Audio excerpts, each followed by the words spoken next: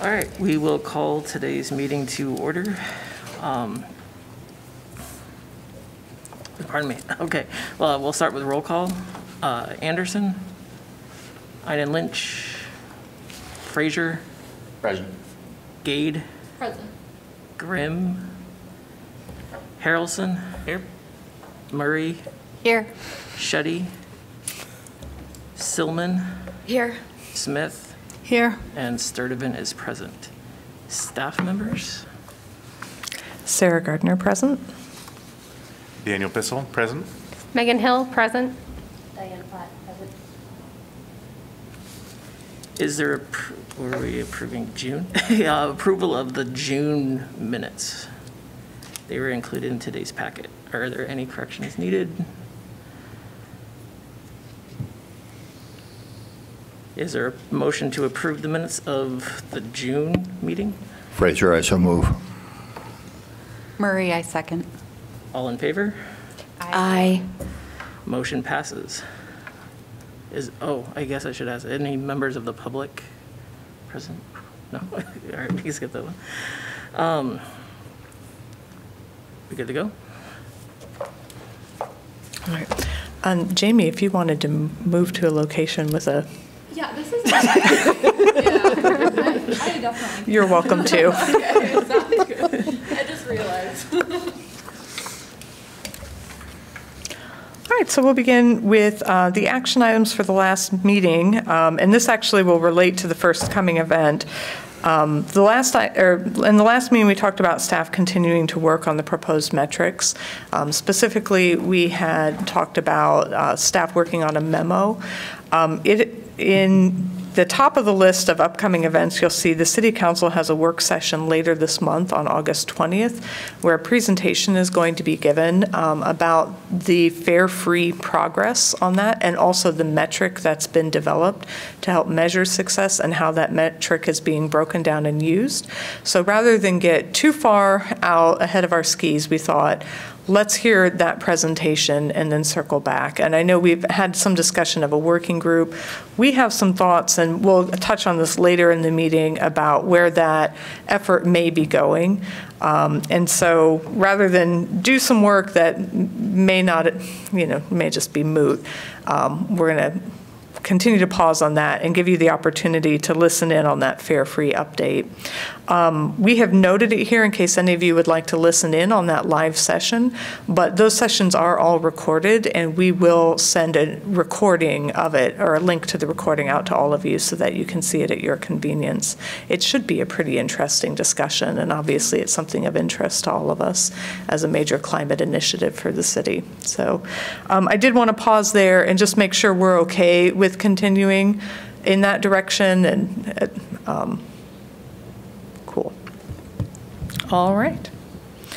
This is Sturdivant. I will ask, could we get an update into September if somebody's not able to listen? An update on the Fare Free Yeah. presentation? Yeah, Yeah, just like a quick yeah. number rundown. Update on the Fare Free progress. Absolutely.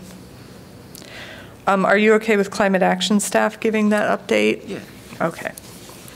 Our transportation staff can be very difficult to get scheduled, although very willing to come, I'm sure. All right, then, so that brings us to upcoming events. As noted, we'll send a recording out of that work session discussion. Um, We also have two things coming up um, related to Climate Fest. We're once again going to be decorating bus shelters as part of Climate Fest. Um, This year, we had a really fun idea to expand the number that were being decorated, and we um, contracted with a local artist. It's actually the same artist who did the climate action mural, um, you might remember, by the bike library. She's come up with a set of designs that can be implemented, and they're designed specifically for uh, community members to be able to piece together and hang up. So We have a workshop coming up this Wednesday, and the original idea was that neighborhood associations would be taking on that work. Um, It turns out it's summer. People are busy with vacations and summer activities. So we haven't had quite the number of signups we were hoping for, although we have had um, lots of other volunteers from climate ambassadors and library staff and city staff come forward to help with the designs. But it should be a fun workshop, and we are going to have snacks. If any of you would like to come and help cut out some of those designs and get them ready, uh, we certainly would appreciate the help, and you'd be welcome. And then if you have a lot of fun at that and want to help decorate the bus shelters themselves, we'll be doing that at the beginning of September. Um, It won't be September 1st, though, because we realized this morning on a couple of fronts, we forgot that Labor Day exists. So, um, Megan, what was the date we decided to push that back to? Uh, September 8th, so the following Sunday um, is when the decorations will be up, and will be up through September 29th. So if you'd like to lend a hand in um, putting up those mosaic pieces, whether or not you come to the design workshop on Wednesday, if that September 8th date works better for you, just reach out to Megan, and she'd be happy to slot you in for one of those. um, And then you get to drive past it, like, for the month of September, and be like, I made this bus stop beautiful. So, fun. Anything else to note there, Megan? Um, I would just say, like, Morningside, Glendale, and Longfellow were able to gather enough volunteers. Um, So I just want to thank them. Can I ask a clarification? Yep. Clarification on the time of the workshop? Does it start at 4:30 or does it start at 5:30? 5:30. Oh, 4:30 is set up, Sarah. heavens.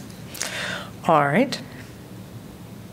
Um, And then the next item on the list is really just an FYI. As you might recall, we've done neighborhood energy blitzes for a few years now. Last year, we started experimenting with mini blitz formats. Um, This year, we're trying another experiment on that front, and it's a- part of the collaboration we've had with the county to share our AmeriCorps resources this year. Um, We're very interested in interfacing with uh, residents of manufactured home parks, um, as is the county. So we are going to be conducting uh, one of these little blitzes. It'll look a little different than the ones we've done in neighborhoods where we go door to door. Um, This one, we're going to have a centralized location, and we're going to be handing out information and um, uh, icy pops, I think, right? To help with the heat and bring people out to talk to us. So um, stay tuned. We're happy to give you a report on how that goes, but we're excited about that collaboration and the opportunity to reach some folks that we haven't been able to reach so far. So that'll be good. And then I'm going to turn the floor over to uh, Megan to run through our anticipated Climate Fest events, which we're really excited about. Um, And she has an opportunity here, too, for some help from uh, commission members. Yeah, so we already talked about the bus mosaics that will be up um, almost the entire month of September. If you have any questions about that or locations, you can email me. It's also on the website right now, icgov.org slash climatefest. Um, Our Monday event is our rescheduled CoCoRaHS training program. So that training program was rescheduled due to weather. The uh, meteorologist was needed to uh, survey severe weather on the day our training happened to take place, um, so we had to reschedule it. And luckily, uh, our Monday event was open and he is free that day. So it will be at the senior center again from 4:30 to 6 p.m. On Tuesday, September 24th, we have our Big Grove celebration. Uh, We are celebrating Fare Free, one year of Fare Free Transit in Iowa City. That event is 5 to 8 p.m., and we're going to have some fun games and um, trivia, transit trivia, and prizes. So it should be a really fun event. Um, on Wednesday, September 25th, we have two events. So starting at 6 o'clock, we have a community sing right in Chauncey Swan Park with Family Folk Machine. After that event, people can hop over to Film Scene at the Chauncey, and we will be showing The Scale of Hope, and that film is 7 to 8 p.m. Uh, Thursday, September 26th, we have a creating your personal electrification plan at the Iowa City Public Library in their media lab. And this is a drop-in event from 3 to 6 p.m. You come in, you can talk to a couple of coaches about electrifying. Uh, you can create, you'll create a plan, and we'll have an induction stove demonstration. Uh, on Friday, September 27th, is our nonprofit Nerd Out at the Senior Center from 2 to 4 p.m. This is a kind of updated tabling event. So we have 10 organizations giving mini presentations for about five minutes on what they nerd out about. And then after all the presentations, uh, attendees will be able to talk to each of the groups individually, whether it's about volunteer opportunities or their presentation, whatever they want to talk about. And then Saturday, we'll close Climate Fest with our EV car show. That's September 28th. It's at the Farmers Market again, east side of City Hall in the parking lot. Uh, That will run 7:30 a.m. to noon, and we'll have a couple of tabling. Um, We'll have Sierra Club there, Climate Action, of course, the Iowa City Public Library's Book Bike will be there, and then Green Iowa AmeriCorps, our new team, will be on site with a fun activity for kids. Um, As you'll note on items three and five, we are again requesting to have a representative of the Climate Action Commission there to host the event. Um, Hosting's very easy. Basically, we just ask you to stand up and welcome folks to the event and uh, introduce yourself and mention the Climate Action Commission. We uh, help provide the notes on what to say. Um, And it's a nice opportunity both for you to have, uh, be a little more hands-on with Climate Fest and also be recognized for the work you do sitting on the commission. Um, Michelle, you hosted an event last year, um, which was gr- great fun, although sparsely attended. Do you have any thoughts that you would care to share on that experience? Um, well, it was a fun. I mean, there weren't very many people there, and um, but the people who were there were like enthusiastic. So it was, you know, fun being able to, you know, be part of it and and um, and welcome the people who were. I think if we didn't have something like that, it would have felt really anticlimactic to have like people show up and um, and not have a formal welcome and start for the event. So. Um, so I recommend doing it. I thought it was fun. I was glad I was there. Um, So if any of you are interested in doing that, feel free to reach out to Megan. Um, We'll try to give priority both to folks who haven't had a chance to do this in the past, and then it'll kind of be catch as catch can. Um, But if you have a preferred date or time, be sure to note that in your message to Megan, and we'd certainly love to have you out there with us. And actually, I don't see any reason why if we have more than one person, we couldn't have two people co-host. That would certainly be fine. So, buddy up. I was, I was going to ask for the community sing and film screening. Is it hosting one or the other, or is it? is it- One, so it's the community sing event you'll Okay. introduce. Okay. Um, We actually have film scene and somebody else introducing the film, but good question. Any other questions? Great. Um, And then we want to pause if anybody else has other events taking place in the community that are climate-related that you'd like to notify commissioners of or folks here. Now's the time to do so.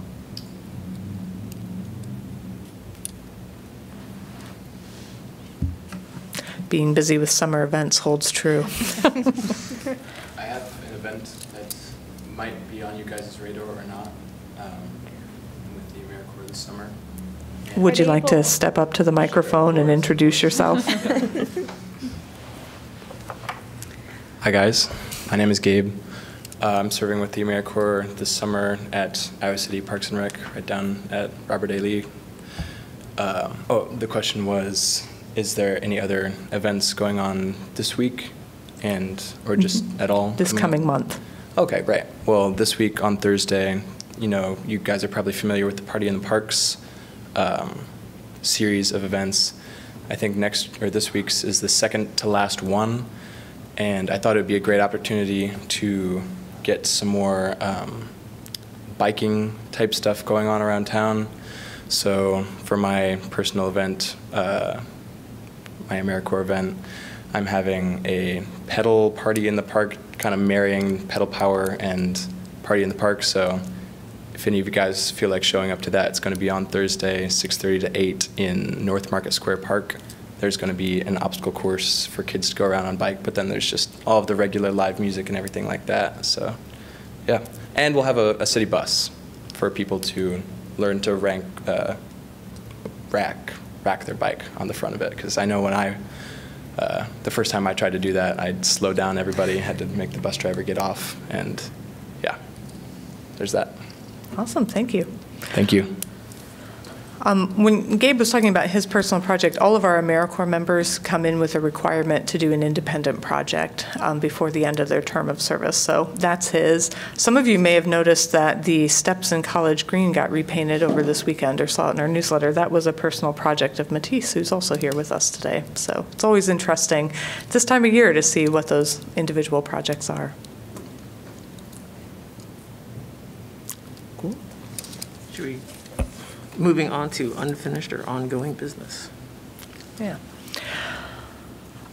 Um, so I had hinted at this a little, that we've been continuing to give a lot of thought about what we're going to do with all the metrics discussions that have been so illuminating and the visioning indicators for success. Thank you again for um, all the wonderful thoughts you've brought forward in those discussions. They've actually kind of fit in with a number of um, thing, I would say plates we have spinning right now, right? Obviously, and you all are aware of this, we've had the ongoing uh, climate reduction pollution, or climate pollution reduction grant activities helping come up with a regional climate action plan. Um, We've been thinking about these metrics. We've also been, uh, had a keen eye on the accelerated action plan that goes through 2025, which will be here before we know it, in a matter of months, in fact. Um, And so there's a question that we've had from the city manager's office about what comes next after 2025 with that plan. Is it time for a plan update? Um, And so I wanted to take an opportunity at this meeting to kind of step back and give you a big picture sense of where we see these things going and how we see them fitting together, and just get some thoughts and feedback from you as well. Um, I started out talking about the regional plan, which of course um, draws heavily actually on Iowa City's plan since we are the furthest along in the region with having a climate action plan and actually implementing its steps. Um, so that has been an opportunity both to bring forward items that, and lessons learned, frankly, um, along the way that could help be incorporated either into that plan or help inform it. Um, At the same time, um, we have the agency that's undertaken that work, or the Council of Governments, I should say, ECICOG, has an RFP out for a consultant to come in and do some really robust community engagement related to that, not just in Iowa City, but throughout the region, so that we can come up with a true regional vision for climate action. Um, We have, as I mentioned, the Accelerated Action Plan uh, that uh, runs through 2025. And part of our thinking there is we've been moving through it, and we can look at this a bit more when we look at the Climate Action Plan updates that follow. I'm going to blather about that after I'm done blathering about this. Um, one of the things we've, I think, has become really clear among staff as we've been thinking about what comes next is we have a really great plan. It's such a luxury, right? Like, it both has very specific items that have really guided us to pursue projects that um, maybe would not have occurred to any of us individually, but collectively have been great. It also has a great deal of flexibility that has allowed for things to come up along the way. Um, I, I always point to the example of, you know, the that, or the action item asking that we get energy efficiency included in the the uh, Realtors MLS system, which led to engaging the Realtors. Like engaging the Realtors in a training is not listed anywhere in our climate action plan, but it was an important step toward that. And when that opportunity arose, we have this great plan to help justify it. Um, I could point to multiples of that. And in fact, when we go through our updates, I think you'll be able to spot even ones that don't aren't specifically the thing outlined in the plan, but relate and allow us to keep moving in that direction. Um, so one of our thoughts is we don't necessarily need another climate action plan at this point. Uh, Being five five years in, like there's still plenty of work to be done. What we might need is just um, a little refresh to help identify what the key priorities are, and that's where I think the visioning indicators of success discussions have been so useful to help figure out where are the priorities seeming to fall in it, both within our work and with the the direction we want to be moving in.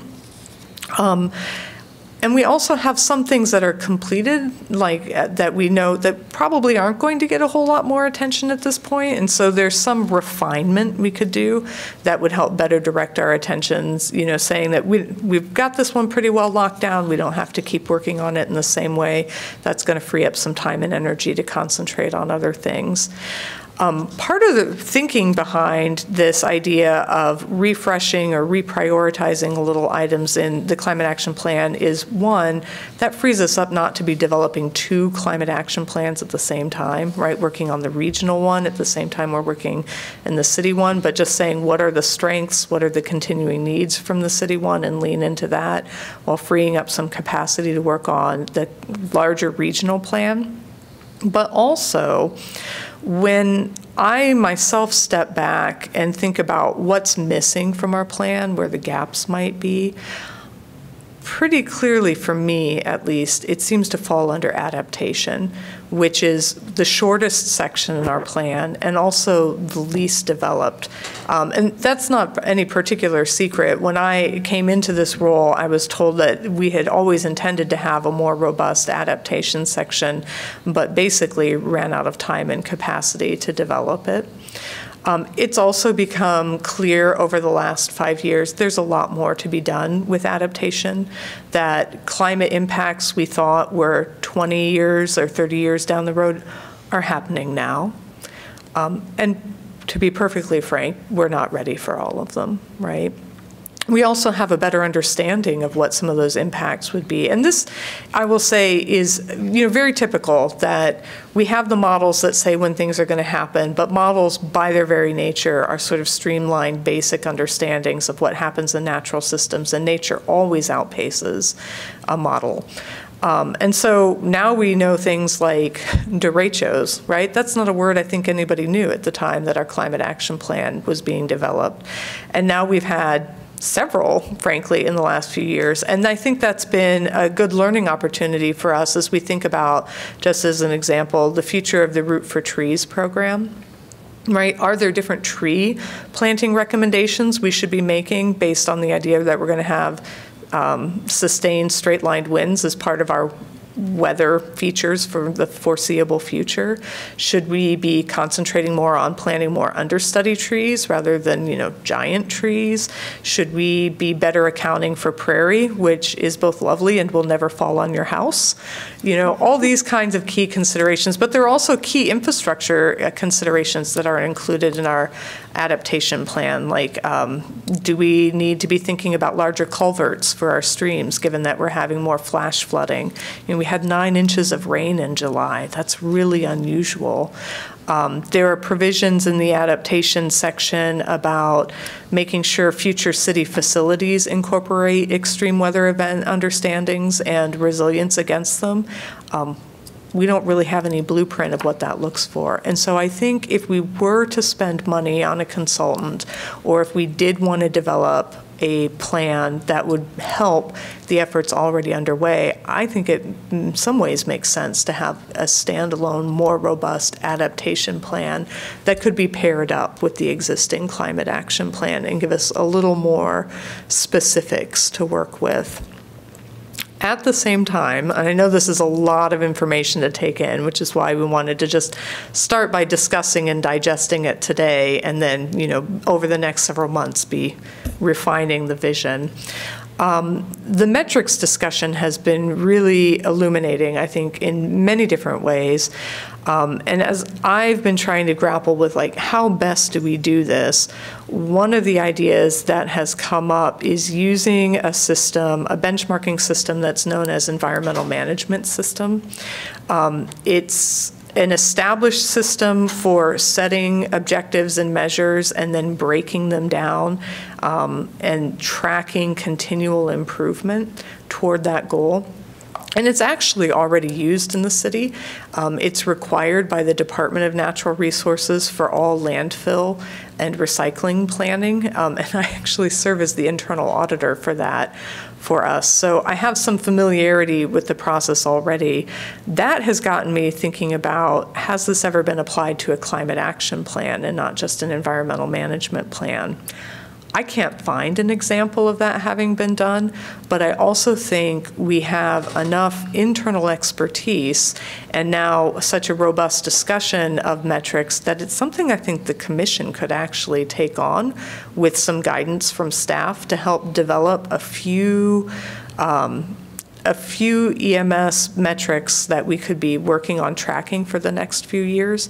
And if we like the way that works, um, once we get the adaptation plan in place, or maybe even in place of the adaptation plan, depending on how you all feel about it, then we could think about either hiring a consultant to come and help us develop such a plan for the entire uh, climate action plan, the way it has been done for the state and its EMS system for landfills, or um, we could say, this is working really well, and this is a great use of the commission, and continue to make that a commission responsibility.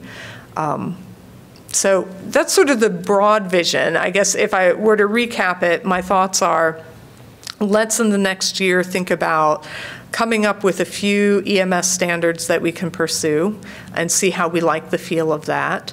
Let's take a look at the climate action plan and um, maybe go through section by section and figure out what the top priorities are in each section and what we might move to something that says completed or, you know, is uh, there are a couple we've got marked deferred currently, like pursuing community solar because we don't have the enabling legislation for that. So we just have some a bit more clarity on what we're actively working on and what we've got our eyes on um, for future opportunities. Um, let's explore the idea maybe of, of, putting out for an adaptation plan for Iowa City. And while we're doing all this, let's keep an eye on the regional uh, planning efforts to see how we can be continuing to inform and engage on that effort. I think that hits all of it. These, these, there's a lot, obviously, a lot of plates spinning to capture, but that's sort of where the thinking is with staff at the moment. Um, do you have any questions about that or any initial thoughts hearing that as a vision for the commission and for our climate planning efforts? Yeah, Fraser, it, it uh, makes total sense. Uh, my first thought was you're almost being apologetic about, well, we don't want to have two plans, but we need to change this plan. And my first thought was that's how you do five-year plans. And what you do is you keep a good history of where you've been so you don't lose that. And you're constantly changing, and we're all smart enough to know you don't have a five-year plan every five years. You update it depending on the board or whomever every year, every six months, every whatever and it's it's a it's a moving target, and our strategies are moving. They change as we decide that we need to attain different goals within a specific period of time. So it makes total sense. The challenging part of any strategic plan is accountability and metrics. Mm -hmm. And so you've already addressed the metrics. The accountability part is probably one of the toughest things that you face, uh, would be my guess any organization that I've helped do strategic planning for, it's always, well, we're a small board, we're a small this, we're a small that. Who are we going to hold accountable? And how are we holding them accountable? And in some cases, we know what we should be holding people accountable for, but we don't really have the authority to do that. So tha- that's our challenge, is we almost have to soft sell the accountability because we don't have the authority to demand it, so to speak. Yeah. But mm-hmm. you nailed it. I mean, it's, that's what we should be doing. Constant change.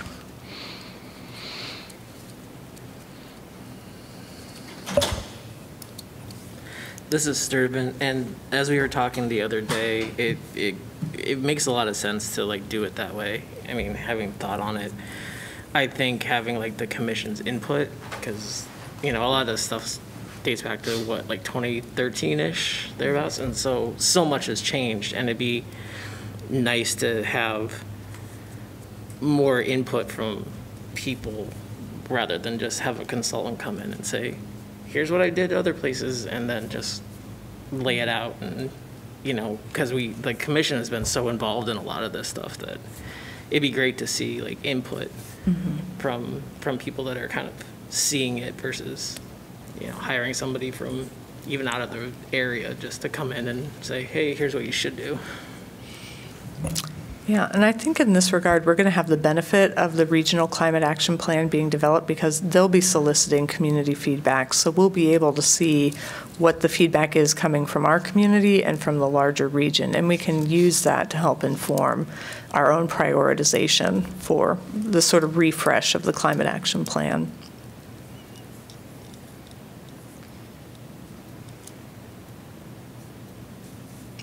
So here's my ask to all of you. Um, I, I always want to be mindful that it's hard to take in this much information in a public setting and, and feel like you're being asked to do anything beyond just being like, yeah, great job, keep it up. And that's not our intention, right? Our intention is to put out these ideas, let you try them on for size, and then come back and continue the discussion. And so some key things to be thinking about, if I could give you a little homework between now and next month, is um, to think back over the climate action plan as we go through the updates today, and also just thinking about it as a whole, like, do you feel that it's robust enough and flexible enough that it doesn't make sense to start over and reinvent with a new climate action plan? Or do you think this climate action plan allows us to do the work that we need to be doing um, for the next five years? Um, really give a lot of thought to the adaptation question, like, does it make sense to get an adaptation plan um, for the city? Do we think that would be of benefit? Or, you know, do you see that as being a distraction from some of the other things that we have to do? And there's no right or wrong answer. Um, And then I'm, I'm going to relieve you of the burden of thinking about metrics, which we've all been doing for quite some time, um, to say you can uh, listen in on the recording, uh, see what can be taken away from it, what you like and don't like in the recording of the discussion of the Fare Free um, metric that's being proposed. Um, But you don't have to do anything beyond that. Uh, We're going to continue to do some more investigation into the EMS system, and then we'll line up someone to come and talk to you about it in more detail, so you don't have to feel like you're signing off on something you've only heard about once and don't know whether or not it would fit. And my thought is a little to try to bring in Jane Welch to talk about how it's worked for our recycling and um, resource management goals, so you get a sense of how it's worked locally, and then also give you a bit of presentation about what is it, what is it, how does it work, how might it work for this. So we'll do that end of the homework. All you have to do is watch the recording. Does that sound good? Yeah. Uh, One more comment, Fraser. Uh, I'm thinking again about my favorite term, polarity thinking. It's, it's, it's not an either or, it's a both and. Do we change what we have? Do we keep what we have? The answer is yes. And in many cases, it may not even be eliminating something, it just might be turning priorities around, reprioritizing based on reality. So we don't want to throw the baby out with the bathwater. Yeah, when you mentioned reviewing the plan and coming up with priorities in each section, you're thinking the commission kind of reviewing the plan and, and doing that work, or more of like a larger community outreach to see where the community's at, or wait until we get I'm thinking the commission can do that work because you all have seen it up close. You get these um, semi-annual reports about the progress being made. You have a sense of what's worked. You have a sense of what maybe we haven't given as much attention to as we could have. And I think based on that operational knowledge, you should be able to take it along with the feedback we're going to get for the regional plan to reflect where the community priorities are and help just combine the two. Cool. I will say, I don't think it's going to be a major rewrite. I think it's going to be maybe highlighting some successes we'd like to continue, some things that were a nice idea that maybe we don't need to pursue anymore, um, some tweaks, like, well, that didn't work, maybe we'll try this other thing, um, and some things that, you know, if you look at how the accelerated action plan was built, it it's structured into phase one, phase two, phase three, right? So if, in some ways, we could think about this as phase four. Yeah. Cool. That's a lot to take in. Um, I will also say, thank you for letting us cancel the July meeting, which really helped free up some brain space to try to think about how all these things fit together. So we're all benefiting. All This right. is, uh, Oh, go ahead. Uh, this is Sturtevant. John, I just wanted to like kind of, that, y- your concern was kind of my concern too, when me and Sarah were talking about this. And it's kind of like, we did this two years ago. Let's, you know, let's put it aside kind of, you know, let's congratulate ourselves and then move forward. So I, I understand what you're saying and like, you know, let's, you know, do both at the same time. So I, I I can clearly understand what you're trying to, like, say, let's do both, so.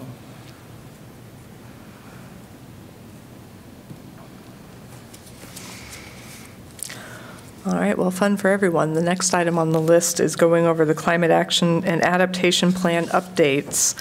Um, We're a little past the quarterly, you know, we try to get these to you once a quarter, but we've had a number of visitors for the last several months, so we're just a little beyond that, but that means that means there's always a lot on the list. So, um, just like we've done before, uh, we want to give you all a chance to take a look at the summary of new updates, and then um, we'll open the floor, and anyone who has any questions or wants to hear more specifics about any of the things listed, because these notes are pretty brief, um, you can speak up, and we'll speak to any of those individual items. And if you have questions, um, or, yeah, any comments you'd like to make. This is Gade. I do have a question. So launching the elec- electrification incentive program, is that also where you're asking landlords then to accept the um, housing choice voucher and then that program specifically? um, under launch a TIF-funded climate action incentive program? Um, under buildings. Oh, gotcha. Yep. Yes, launch an electrification incentive program. Thank you. Um, Yes, that is the same program, Um, and I'm quite happy to report we did have landlords apply for it and just recently selected them. Um, We had been, as you might recall, aiming to do five housing units as part of the first pilot. As luck would have it, we had three duplexes apply, and so we're actually going to do six because it just feels weird to be like, oh, we'll only do one half of one of these houses when we have the opportunity to do more. Um, I'm really excited. I've met with the landlords we're going to be working with, along with the director of our housing authority. Um, They're really engaged in many ways. I feel like it's a best-case test scenario for that. So exciting to see that program moving forward. Um, And one of them, I will say, on their application noted that the windows in the structure of, one of the structures are more than 40 years old. So what a difference it's going to make to be able to get in there and like help tighten up that envelope for the folks who are living in it.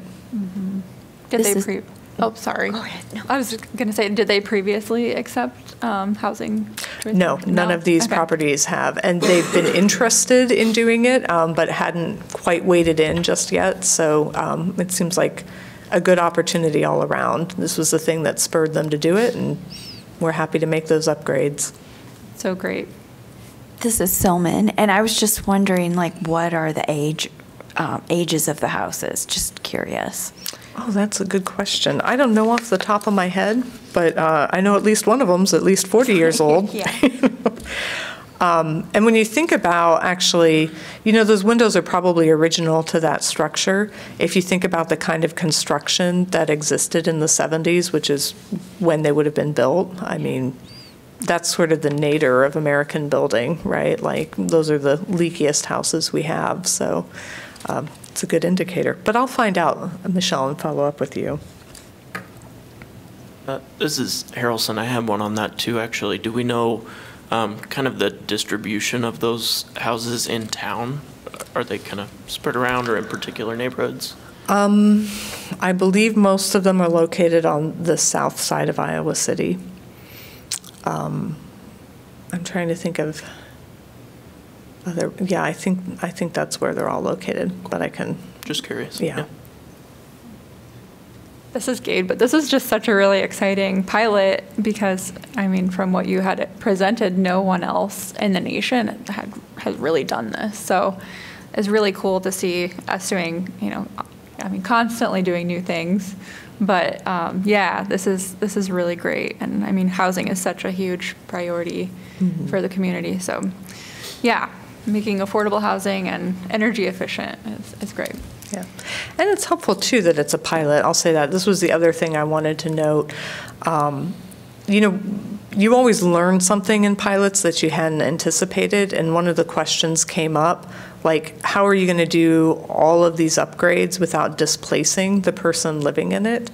Um, And how are you going to, like, if there's somebody already living in the unit and the landlord now wants to accept Section 8 vouchers, or uh, rather, housing choice vouchers, um, to use the preferred term, um, how do we make sure, like, the landlord isn't going to kick someone out to bring them in to participate?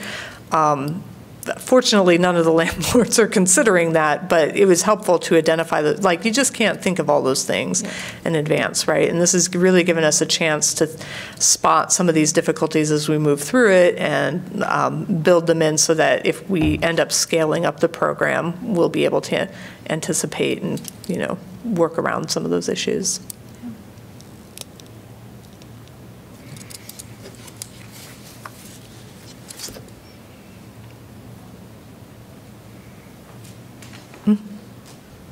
Uh, Fraser, it ju- it's just dawned on me as I've been driving around town, going here and there, hither and yon, the last uh, couple of months, I've seen what I recognize to be landlords getting rid of the junk and updating apartments and houses and throwing things out and replacing windows and doors. And and I- I'm sure we have thought about this, but the timing for these upgrades would ideally be between the time the students move out and they move in again.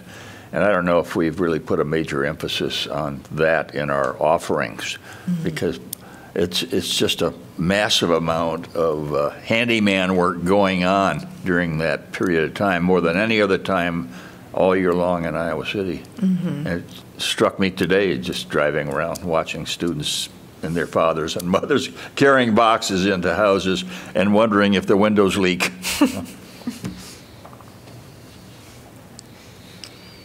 Thank you, that's a good observation. Actually, I'll note, um, there's something related here in the updates. I don't know if you've made it as far as waste, but last month, um, resource management staff, which is our recycling staff, uh, climate action staff, and a colleague from Johnson County went to Chicago to benchmark a construction and demolition debris recycling program, um, both to see if there were ideas from that that we could be pulling out and implementing here, and also if there were potential partnerships. You know, if they've already got an existing system that's near us, could we bundle up our demolition debris and send it their way, or tap into their networks to the thing with any kind of recycling program is you always want the commodities market to participate in, right? And if you don't have to go out and find the company that recycles nails, you know, but you can work through another network to get your nails to them, uh, that's very helpful. So that was um, a really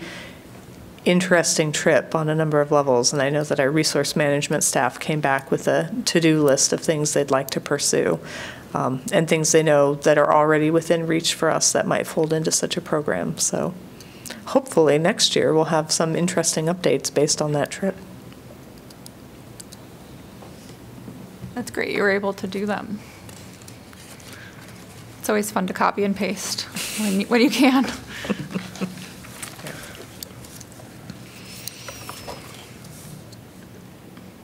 Well, this is Gade again. Um, on transportation, the required qu- climate change analysis for new subdivisions and rezonings. Can you talk a little bit more about that? Yeah, so um, you might recall we had a previous discussion where, uh, at the beginning of the year, where we said we had noted, I don't know why climate action's all in capital letters on that one.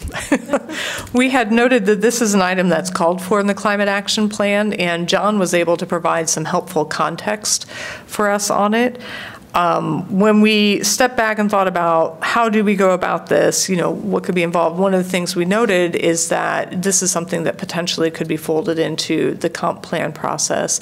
Iowa City is in the process of um, updating its comprehensive land use plan, which sometimes gets called a comp plan for short. Um, and one of the, I think, exciting developments there is that we had a climate action staff um, invited to participate in the steering committee. So what that means is as we're interviewing um, firms that would be assisting with that work in response to the RFP, we've been able to have a climate action representative on the committee um, helping weigh the proposals and say this one felt, felt stronger on climate than that one, vice versa. Um, and it also means that as they start working through that process, um, there'll be uh, somebody there to help inject that climate action perspective throughout. Um, and in fact, we uh, one of the uh, ideas that we floated early on in those discussions is they usually as part of that process give a presentation to city council um, to solicit feedback and we're asking if they could also come to the climate action commission to solicit feedback. So uh, yeah hopefully some good opportunities will arise out of that. Yeah. In public health we have uh, health in all policies but it's like climate in all policies mm -hmm. right? It's great This is Sturtevant. I, I'll start out asking a question. What's new city facility construction? Is that what I think it is, or is that under you- adaptation? under adaptation. Let's see, new city facility. It's under a long-term ongoing. Got you. Um, yes, so this was one that we were referring to earlier where we said this is something that is included in the climate action plan that we don't know exactly what it looks like. Um, and so it is on our long-term goal to basically get our arms around it. And this is part of what's led to the thinking that, boy, wouldn't it be nice to have an adaptation plan that just makes it a little more explicit how that might be folded in. Um, new facilities, just to be clear, what we're talking about there are city-owned facilities, right? So when we build, um, we're going to have a new landfill um, building being constructed, like are there climate adaptation principles being built into it? Not just mitigation, not just cutting down on emissions, but what does the landfill facility need in order to keep the facility and the staff who work at it safe in, you know, the face of increasing extreme weather events, for example? Fortunately, there's no danger of flooding at the landfill, so we don't have to worry about that. But it would be um, just looking at all our new facilities, like what are those principles? And obviously, one of the biggest considerations is um, backup energy. Like, is that storage? Is that a generator? These questions are coming up increasingly for city facilities. So. And then for something like the landfill, does that include looking at what materials would be taken, or is it just the building of the facility? Um, For that specific item, it's just the facility itself. And it would apply to all facilities. Um, Tomorrow, no, it's Wednesday, is it Wednesday that there's the meeting about City Park Pool? Yeah, so um, climate action staff are being uh, folded into that process as well. Like, we're going to have a mechanical system review so that we have a chance to take a look at it and poke around in the energy efficiency numbers. But for adaptation, um, it would just add this other layer to say what else do we need to be considering? You know just thinking about climate stressors that are coming our way. Is it more shade over the pool deck for example? Is it a dedicated uh, storm shelter at the facility that's big enough to hold you know all the folks who might be using the pool that day? I don't know if any of you grew up with a pool at your school, but I did. And our tornado training was to swim to the side of the pool and kind of wedge your head into the edge that intook the water. I'm hoping standards have changed. I just had a flashback to some pretty grim tornado drills. Well,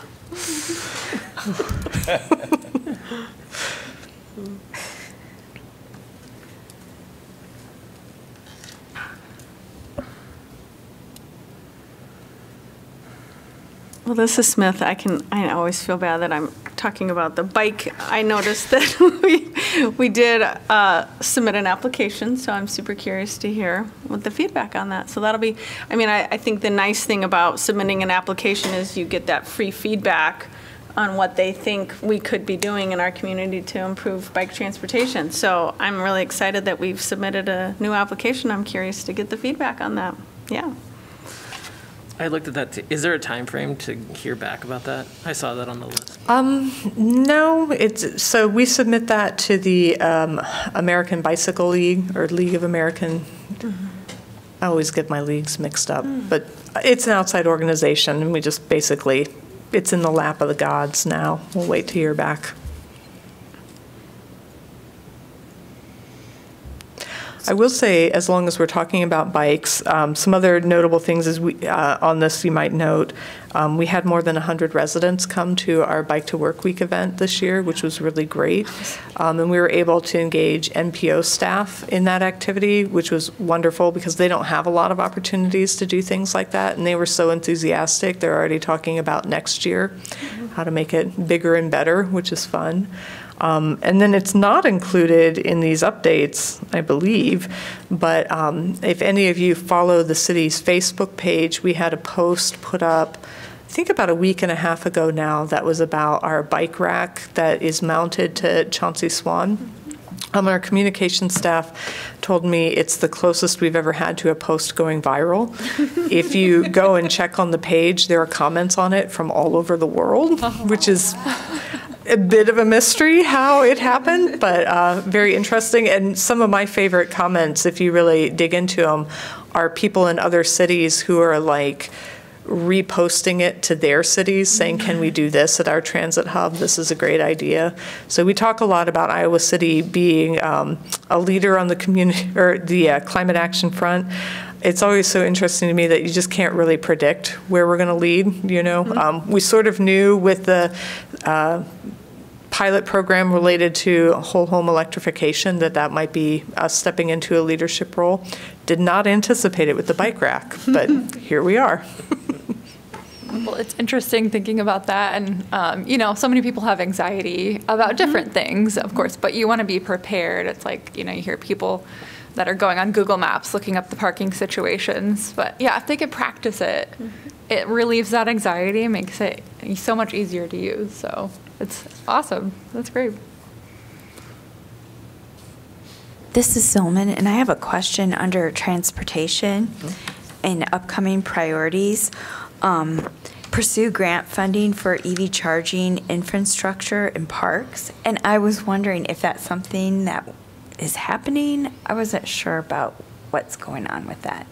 Oh, Michelle, this one breaks my heart a little, but yeah, we can talk about it. Um, we have we have applied for grant funding for EV charging in the park. Um, we initially applied under the so when we got EECGB funding um, from the federal government, they also gave an allocation to the state, which set up a pool of funds. Um, most of that money was dedicated to communities that did not get their own allocation, but there was a small pool of funds that was an innovation fund. And we had an idea to propose um, bringing in solar powered EV chargers to our parks. Um, that we felt was fairly innovative in a number of different ways. Uh, the technology hasn't been used in a public space in Iowa yet. Um, Wim knows a lot about this because I called her at the 11th hour on it. Um, the the devices are deployable um, in the sense that they're not tied to the grid. So you can uh, put them in a parking space and they're functioning within four hours. You don't have to do any trenching or boring. And in parks, that's a huge consideration because um, often the most expensive part of putting in EV charging is digging a trench to your existing electrical supply and running the conduit to it, right? So if you've got something that's solar powered, you don't have to do any of that digging and trenching, which reduces the expense. But also for things like this that are tied to federal grant money, if you can avoid disturbing the ground, then you don't have to go through um, a more extensive environmental review process. You can go through a streamlined environmental re- review process. Uh, the charging stations also were equipped with battery storage that could be tapped into during extreme weather events. And we had asked in the um, specs from the company to include capacity on the ground level for charging electronic devices so that if the power got knocked out in a neighborhood, people could come and charge their cell phones to keep in touch with uh, residents. We ran into a bit of a kerfuffle with it. Um, it- It's, it falls into a kind of legally murky area, basically. Um, And Wim, I might call on you to just correct me if I misstate anything, not to put you too much on the spot. Um, Under Iowa code, if a device like this both generates electricity and then sells it, it runs the risk of violating the legally protected monopoly that a utility has um, in its service territory. Um, And so the question came up, if we charged, we couldn't charge directly for the electricity. Um, We asked if we might be able to charge for the parking service instead, um, and see if that wouldn't avoid, you know, this concern. It's something that basically would have to be brought before the Iowa Utilities Commission um, for some, it, it, it's complicated. It would have been a great grant, I'll just say that. But um, it's something, it actually, I think, was still a useful exercise in that it highlighted um, what the challenges might be here, right? Like, if we want to pursue something like this, we have to resolve the how do you charge for it question. And I think, had we gotten the grant, we would have very happily not charged for the service because the equipment was already paid for. But of course, um, Iowa's statutes require that we collect a tax on the charging now, and they send out people to verify it. So we have to charge something essentially to show that we're making a good faith effort to collect that tax on electricity used to charge vehicles. So it's a bit of a catch-22, if that makes sense. Like, you can't not charge, but if you do charge, you might not be able to do it. Yeah, and I will say Wim's been very helpful. I did call her to ask if uh, she might connect us with staff who could get, help us get it sorted out. And I know um, she ran it up the food chain right before Easter weekend, which was a big request, so, and much appreciated. Um, And we, I think, are still waiting to hear back um, from MidAmerican's legal staff on what they think might be allowable and might not, so. I'll, I'll follow up on that part. Thanks, Wim. So that opportunity has passed us by, but um, we are continuing to keep our eyes out for other grant opportunities, and if it means we have to tie it to the grid. I will also say, in due fairness, that may not be the end of the world. I mean, it is more expensive. It does come with more reporting requirements, but also grid-tied solar charging, EV charging is more efficient for many reasons. Um, You know, for one thing, it allows you to capture the electricity that's being generated that day that might not be going for vehicle charging and put it back on the grid for someone else to use. So it helps contribute to, you know, the clean energy development on the grid, which is great. Um, Often, when you've got a grid-tied system, you can also pull on that electricity to help top up, you know, if you've had a lot of people charging that day, and maybe it's not as sunny a day, you know, so they're not getting as much of a charge from it. You can get more robust charging with a grid-tied system. And at the end of the day, we do want to put out EV charging that's a good ambassador for EVs, right? Like, we don't want to put out a charging system that people are disappointed in, and then it works against our goals. So even though it was a little disappointing, um, I think there are some good lessons learned, and, you know, there are still paths forward. We just, we don't know what they are just yet. But we'll keep working the problem. Yeah, and maybe it will help to set up um, examples for, you know, multiple different types of areas, you know, to show, you know, how other people might do this for, you know, different types of parking spaces or buildings or whatever. I will say one of the nice outcomes that came out of it is the company we had worked with when we had to tell them that we weren't going to be able to pursue the charging stations at this time engaged their own legislative liaison to uh, talk about it on the national level um, to say, like, this is why this technology fits really well with these kinds of grant opportunities, and these are the perceived barriers that we see.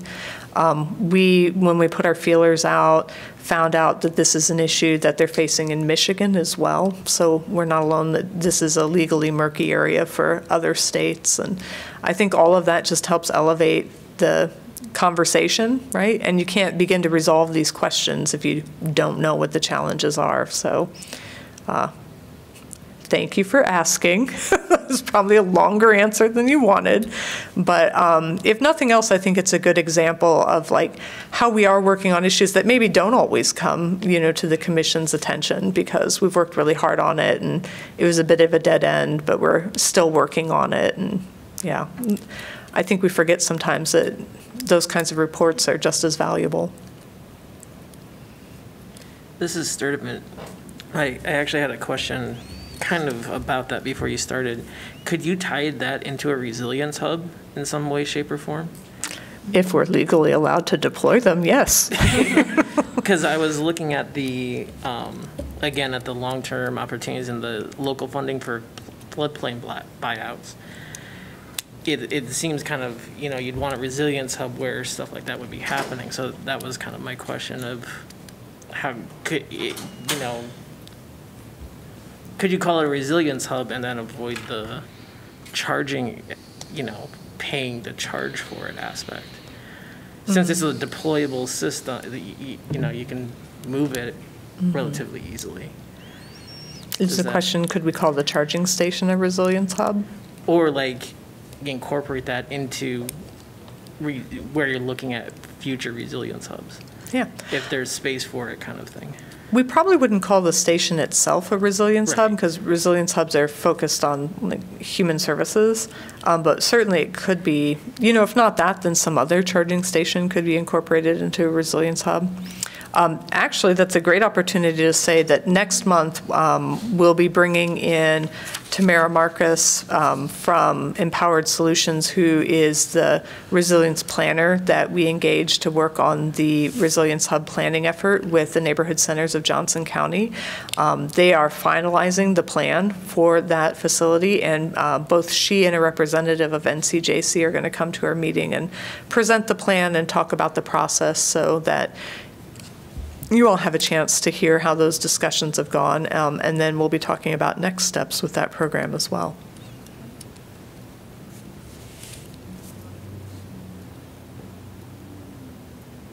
So I'm sorry, but I'm, I'm really curious now. If I'm Hy-Vee and I want three or four Tesla charging stations in my parking lot, what, what uh, legal issues do I face? None? You don't really, um, because the Tesla charging stations are tied to the grid. Okay. So The issue is it being, I mean, you can see it from a utilities perspective pretty Yeah. clearly, right? Like if you're able to generate electricity and sell it, then you're getting in on, in a way, you're functioning as a very tiny utility. right? Yeah, this is Murray. I was going to say that's mostly what the issue is, is if you generate power and you sell it, then you're a utility in the commission's eyes, and then you are supposed to be regulated. Mm-hmm. And then, yeah, it, it is, it's complicated, as Sarah said. I I like your idea of tying it to a hub. I mean, mm-hmm. we want to, we want to encourage people to park their car in front of certain places for extended periods of time, other than a Hy-Vee. You know, We have places, you know, have them near the library, have the network of human service providers. Uh, So that's a good thought. There's got to be a way to get around this. And I do want to be very clear because I know um, it's easy to start vilifying different parties when we don't get the things we want, like we all have that inner eight-year-old, myself included. Um, And I don't think there are any bad actors in this scenario, and I want to be very clear about that. Like, there's nothing here saying you can't have solar charging in the park. There's nothing saying you can't have EV charging in the park. There's not even anything saying you can't have solar-powered EV charging, right? Currently, it just needs to be tied to the grid. It's just, as these new technologies develop, sometimes they outpace the legal structure that we have in place, and we just happen to step a little beyond the boundary of those legal structures, and that's, no one's to blame, you know, because none of us have a crystal ball and can see a future where these kinds of technologies exist until we arrive at it. And- And one last comment. I'm, I'm not vilifying, I'm reinforcing my comment that you've heard for several years now from me. What's in it for me? What can we provide that's going to be beneficial to an audience that doesn't have the challenges that we're talking about right now? To get them interested in participating in a sustainability, sustainability hub or whatever we want to call it. It we- it goes back to, every time, what's in it for me? The landlord or whomever? Mm-hmm. That's, that's got to be there, because people only have big hearts for so long, and then they want some return on their mm-hmm. heart investment.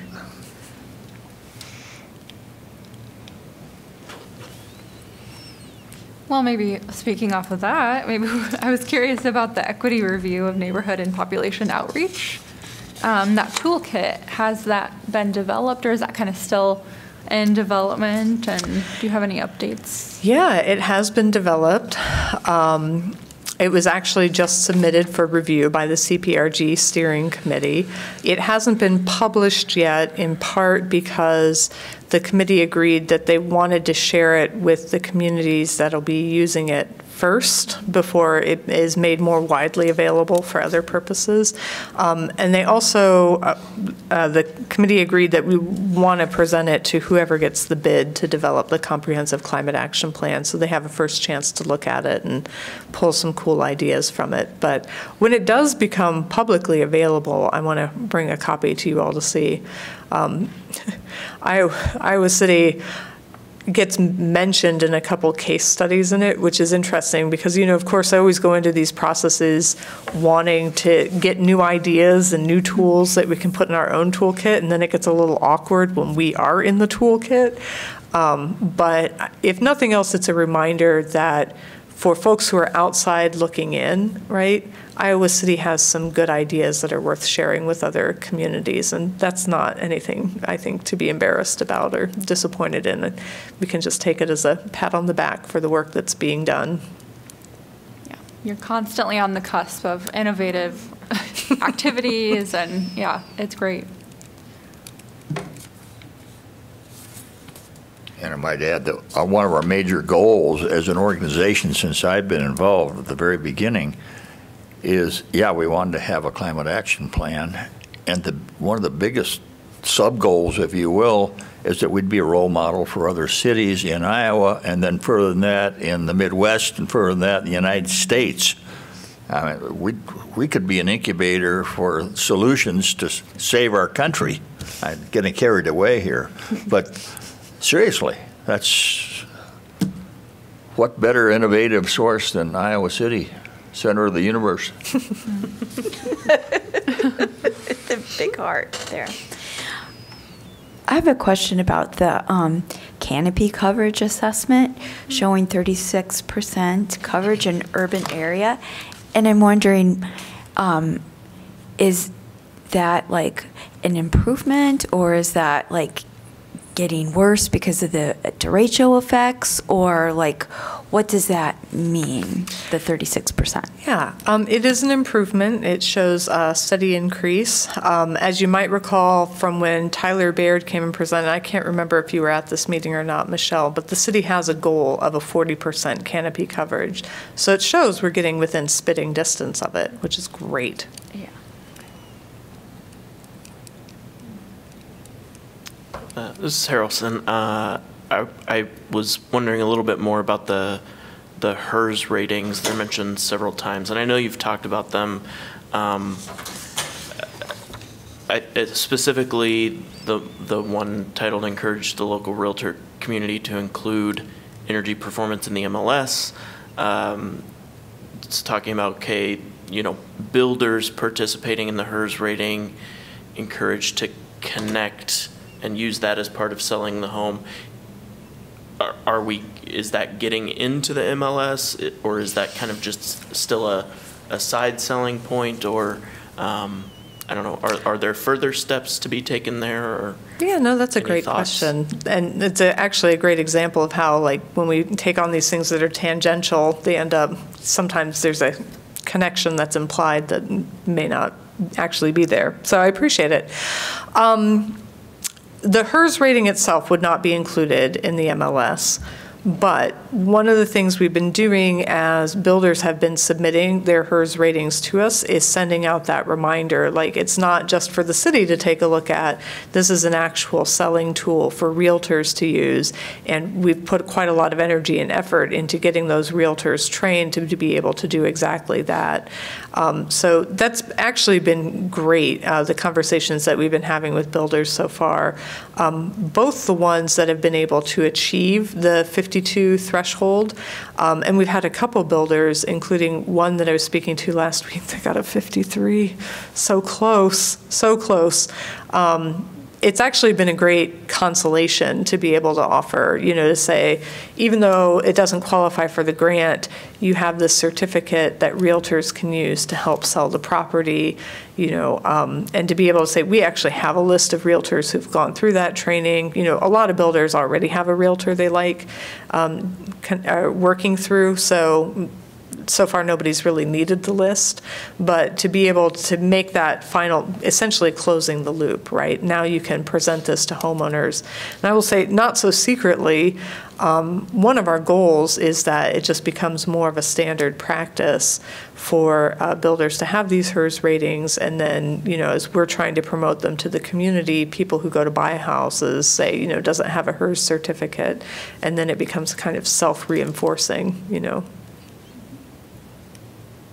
we get out of the game. Well, we wouldn't get out of the game, but Do, do you know if there's something equivalent, or I, I haven't looked into the HERS ratings, but do you know if there's something that would be beneficial for not new construction, but something that could be used for, for homes that you're not building brand new or something? there is. It's called the Pearl rating, P E R L. Am I remembering that correctly? Yeah.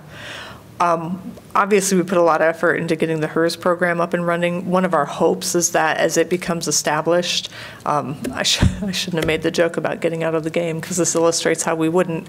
Um, As the HERS ro- program gets established, one of our hopes is that we could be looking into the Pearl rating um, and seeing if we could set up something similar for existing construction. It's such a great question to bring up because, as you all know, there are far more existing homes in Iowa City in any given year than new homes being built, right? And we have to get our arms around what are we going to do for these existing homes to increase the efficiency there and, you know, bring them into our net zero future. Yeah.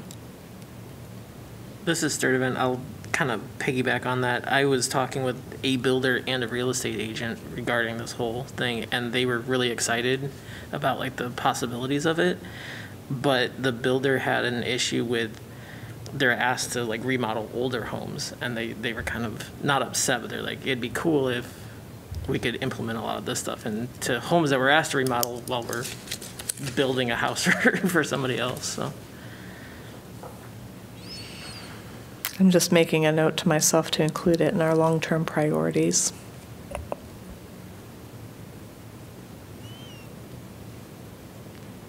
And maybe as we do a refresh on the cap, that's something that can go in.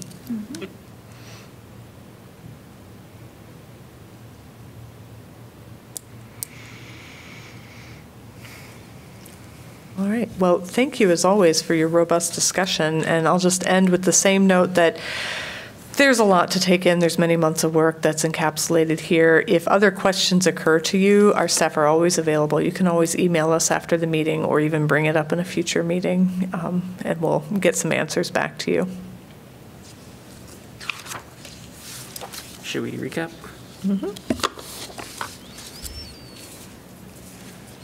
Uh, Well, as noted, we forgot that Labor Day exists. So when we sent out the agenda, we had us meeting a week earlier than is in the official, you all have the list of meeting times. So uh, we won't be meeting September 2nd, we'll be meeting September 9th, um, which is the second Monday of the month, um, if you haven't noted it in your calendar already.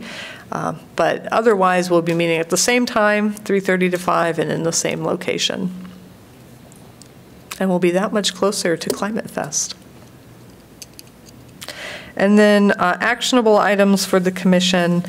Um, I have just one note here that we want to bring uh, some updates on the Fare Free progress to you in the next meeting. So we'll carve out a little space to give you those updates. Any other action items I didn't capture? I, I, this is Sturban, I'll ask a quick, if we have any, like, the questions and concerns we bring up regarding the plan, are you gonna compile those and then let us know, or if we reach out to you afterwards? The questions and concerns about if you have them between now Now and the next meeting? yeah. Yeah. So we're Um, not overlapping, like, problems. Yeah, I mean, and I want to be very clear, we're not asking any of you to think about, uh, like, start emailing us on it. We just want you to start thinking ahead and thinking about this general direction. Um, If you have questions, feel free to bring them up, and we'll try to fold them into the discussion. But one of my goals is, because this is a public document that guides our activities, like, I'd like as much as possible to keep that conversation in our meetings, which is a public forum that others can attend, so that, you know, as community members hear about it, they're able to come and listen in and participate in that discussion as well.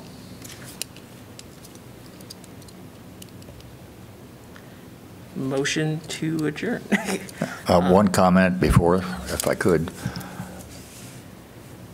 I'm not going to talk politics, but my personal politics, I've usually kept to myself, and lately I have refused to keep it to myself. I share my thoughts with others. And it's the same with climate change. Uh, And watching the news just before I got in my car to come here today, I heard, heard a term that I've heard before, but not very often, thousand-year flood. Debbie is devastating Florida, and it's moving up into Georgia and South Carolina.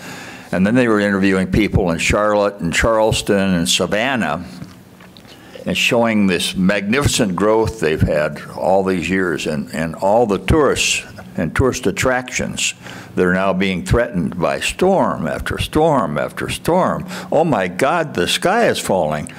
This, this is really happening, they were saying on the news. And I'm going to remind people who are st- still saying, uh, oh, you know, it's, it's, it's fake news, this climate stuff. I'm usually polite, but I've given up on being polite. And I would suggest that however you like to communicate with your friends and associates that have any leverage with the Iowa legislature or anyone that can impact us and our goals in a positive way, that we not be shy about talking about the, the reality of what we're seeing weather-wise. And uh, not just changing weather, changing climate. So I feel like I'm in the right place right now uh, for doing that, sitting on this uh, commission. And I feel that's one of my responsibilities, is sharing what I have learned with other people who maybe haven't thought about this enough. Sounds like it's not an action item for the next meeting, but just in our personal lives to do a little rabble rousing. And with that, is there a motion to adjourn? Silman motions to adjourn. Anybody second? Second. All in favor? Aye.